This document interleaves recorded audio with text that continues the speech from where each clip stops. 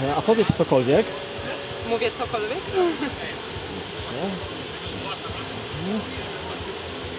Okej.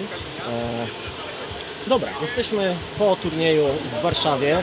Kolejne zwycięstwo GRU i gratulacje. No i kurczę, który z tych turniejów był najtrudniejszy?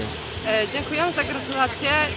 Ciężko ocenić, który turniej był najtrudniejszy, bo każdy tak naprawdę nie jest łatwy, bo każdy mecz trzeba wygrać i tutaj nie ma znaczenia, czy grasz w Jabłonkach, czy grasz w Warszawie. Po prostu każdy mecz trzeba wygrać, ale ten najważniejszy jest tak naprawdę za tydzień i to ten, e, ten turniej decyduje o tym, kto zostanie mistrzem. Właśnie, Darłowo. Wiecie już w jakim składzie przyjeżdżacie? Tak, wiemy. I jakieś absencje, pełen komplet? E, Będzie komplet standardowo, e, ale wszystko okaże się w Darłowie. Jasne, w takim razie no, wszystkiego najlepszego jeszcze raz i powodzenia na finałach. Dziękujemy i do zobaczenia. Dokładnie.